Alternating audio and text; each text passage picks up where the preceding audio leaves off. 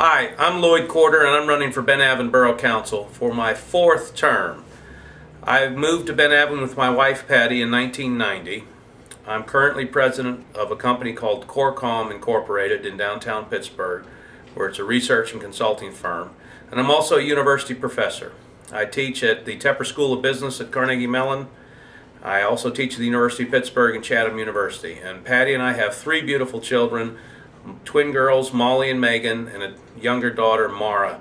Molly and Megan are 16 and Mara's 9. The focus of my efforts on Ben Avon Council have been simple and straightforward. I want to keep Ben Avon a great place to live.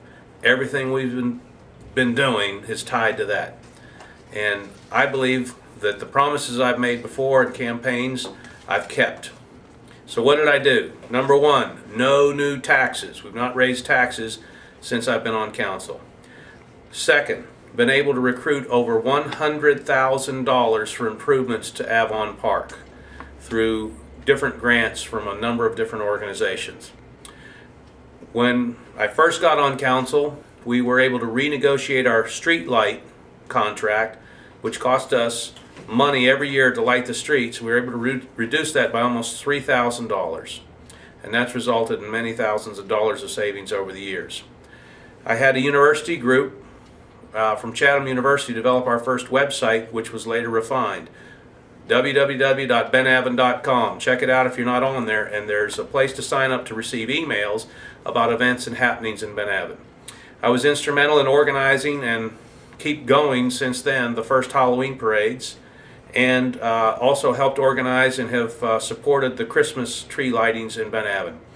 Uh, my wife and I donate the Christmas tree. This year we were one of four families to donate the uh, cost for the carriage rides, uh, which was a beautiful horse and buggy that uh, rode the children around for a couple hours. Along with many of our neighbors, we've planted over 300 trees to help green up Ben Avon streets and the park. And one of the things I'm most proud of with Accord Community Park, or Avonworth Community Park as it's now called, was the blocking of logging. There was a plan to try to log the park, which I thought was uh, very ill-conceived and would have uh, decimated that park for years to come. We were able to protect it in the new legislation as well, so now it's very, very difficult for any logging to occur.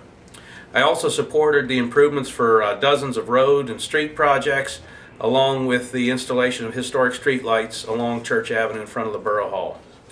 A couple of big plans we have coming up. Number one, we want to finish Avon Park. It should be a beautiful structure when we're done. We're talking about uh, improved tennis courts and a basketball court, uh, installing a Victorian gazebo, having walking paths or biking paths around so the kids can ride their bikes and the uh, walkers and parents can uh, ride there.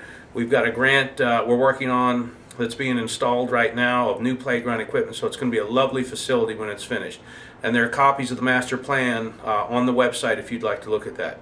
And second and probably more important, I think our focus needs to be on shared services. We're a tiny borough of 800 homes.